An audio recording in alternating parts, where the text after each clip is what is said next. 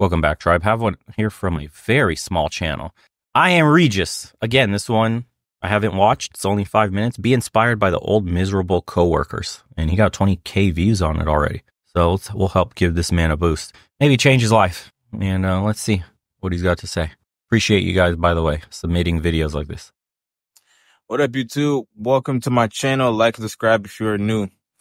Now, today we're going to be talking about why we need to be inspired by people that we work with, especially the older people. And that's really who we want to be inspired from mostly.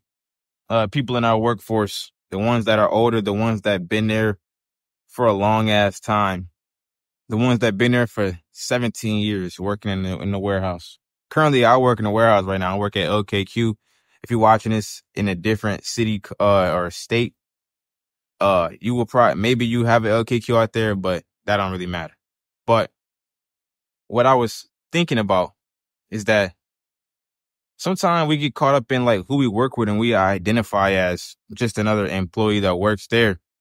but once you realize that you got a mission and when you realize that there is a goal outside of this workplace, you have to really be able to fuel that fire with the people that are working around you that been in the same position for 15 years. They've been working the same dead end job. You making damn near just as much as them. And they've been here for 15 years, 10 years, 20 years. You know what I mean? And they, and they haven't even, some, some of them haven't even moved up the corporate ladder. They've been just working their regular position or they might have switched around. Those are the people that you got to be inspired by in order, and then tell yourself, I'm not going to be like them. Mm-hmm. Because if you don't push yourself, if you don't push yourself towards your goals, oh, let me take a sip of my coffee real quick. If you don't push yourself towards your goals, even at your workspace, you're going to find yourself damn near being stuck in the same loop. If you don't put no motion towards nothing, you're going to be damn near stuck on what you've been doing. You're going to be constantly just, all right, I'm working here. I'm around these people. Next you know, they'll go one year. Next you know, they'll go two years. Next you know, they'll go three years because you've just been working or you might have switched jobs. You might have, it, it, it, it don't even matter if you yeah, time flies, bro. And you get comfortable and you get into that routine of just showing up, getting paid, leaving. You decompress, go at home, play video games, ball with the boys, something like that. All right. Go out when you can afford it every once in a while. And like you get caught in this like trap. I was feeling that too before I decided I needed a giant change in my life and moved halfway across the country. It was the same routine that I got stuck in because of it was familiarity and comfort and just looking at my coworkers, bro, I got guys 40 years old, 50 years old, 60 year old general manager, and he's been with the company for decades and he's making shit pay and always bitching about, you know, how hard it is and struggling and corporate stressing him out and blah. And I'm like, dude, is this all there is to life? Like, this is what being an adult is? Like, I can't, my life can't be this. There has to be something better. Like, I have to escape the rat race because this shit is for the birds. This guy went to college. He got a four year degree at some whatever college, anyways, and it landed him a job of being a fucking general manager at some retail store. Just moving with emotions, dude. Up and down, going in, taking his lunch break, garbage lunch, going back in, yelling at customers, getting yelled at, yelling at employees, getting yelled at by district managers, blah, and on. Bro, it's just vicious, soul sucking existence. If that shit doesn't inspire you to do anything you can to escape the rat race, I don't even know what else it would take for you to hit that rock bottom. Because working around people like that, those lifers at companies, is the scariest shit. It's like a peek into the future of what you're going to end up if you don't make drastic investments in yourself. It's scary, man.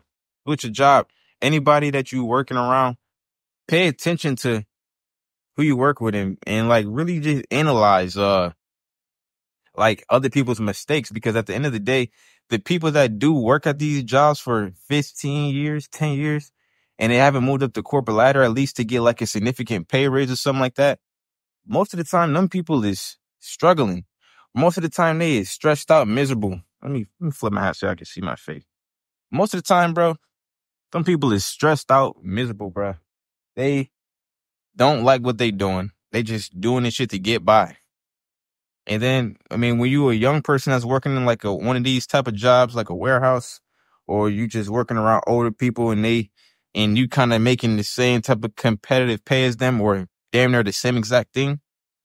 Deep down, they really don't. They really don't like that. They more insecure about it because they realizing, damn, this young person, they've been working here. They they working here now. I'm I'm I'm where they they starting where I and I'm still in the same spot from where they started 15 years later, if that makes sense. Mm-hmm.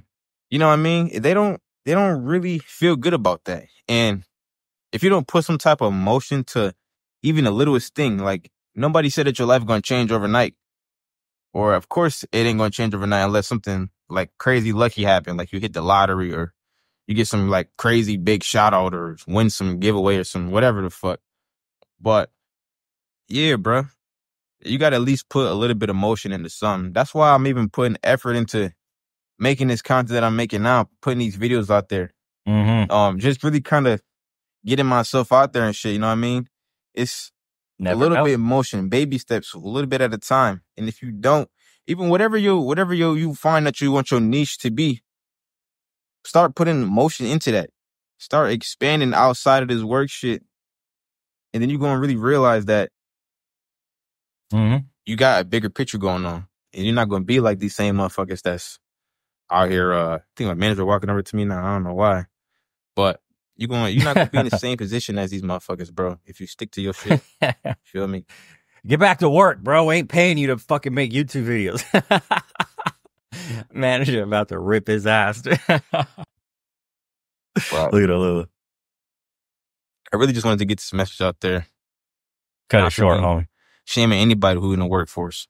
Or if you are older and you still happen to watch this, it ain't no shame. But I'm just saying, man, keep your eyes on the bigger picture and realize that you don't want to be like the typical motherfuckers that been working here for 15 years.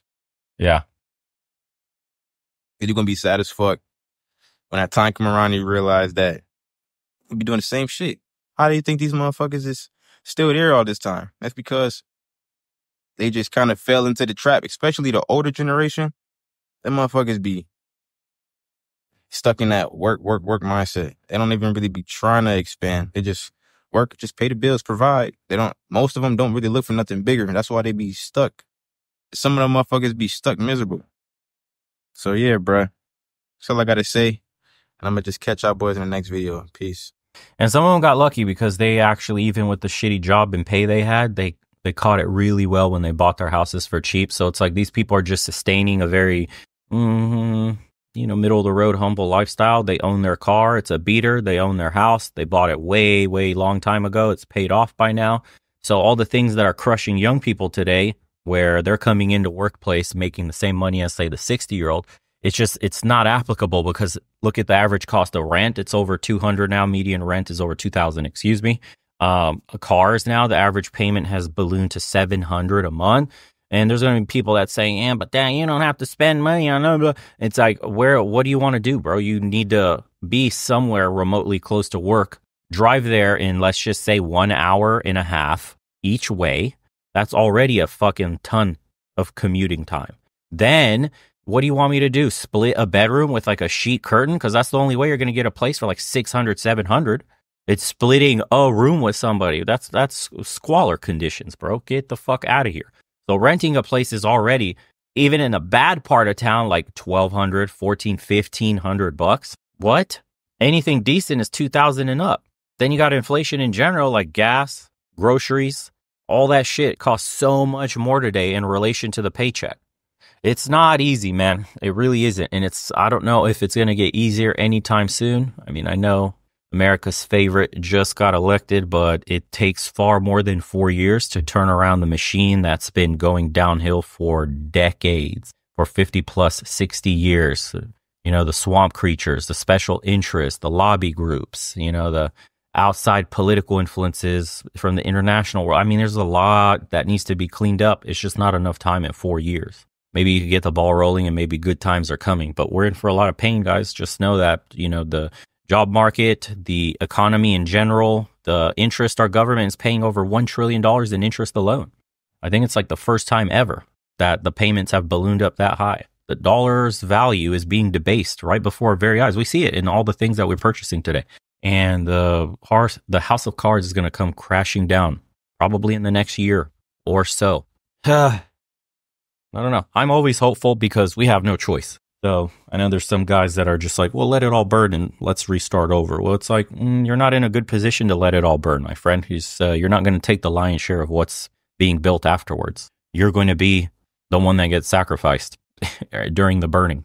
It's always the poor people that get fucked by every instability, every massive change in society. Rich people benefit all the time. They'll enrich themselves. So you have to escape the rat race one way or another. There's no choice. Don't drown yourself out in all the vices that men use today, all the hedonism, the materialism, the consumerism.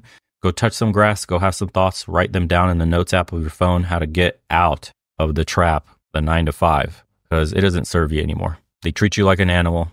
You're just there to collect a paycheck. They show no loyalty. They'll get rid of you whenever they feel like it, whenever it makes sense for their bottom line. There is no more putting in 40, 50 years with a company and getting a little golden parachute, a slap on the back, plaque on the wall, you know, a little medal and shit. That's all gone, bro. We live in a like international society now. We have global markets. You don't do your fucking job, they'll just move offices somewhere else and they'll get somebody to do your job for you at a quarter of the price. It is what it is. I had a coworker that worked for our company for 44 years. I asked him what he was going to retire because after 30 years of service, you qualify for a full pension. He said, I'll retire when my wife drops dead. She has stage four cancer. As it turns out, he died shortly after our conversation and never took his pension, and his wife is still living. I don't want to be anything like him. So that has inspired me to retire when it's time or as soon as possible. Someone said, save money from that job, pay towards your dreams. In reality, you go to sleep 27 years old and you wake up 35. Man, ain't that the truth? When I was 19 working in kitchens, I used to see 60 year olds washing dishes. I knew at that point exactly what I didn't want to be. Amen. Thoughts on this episode below? Give him a like, a follow, a subscribe, and uh, links will be in the description. It's I am Regis. Hopefully, he gets a nice little boost from you guys. Monetize his channel, maybe start changing his life. Young, smart man, has got a good mentality. All the young youngins should be thinking like this. Always, always, like they say, have some motion toward your dreams because no one else is coming to save you. You got to save yourself. Take care, everybody.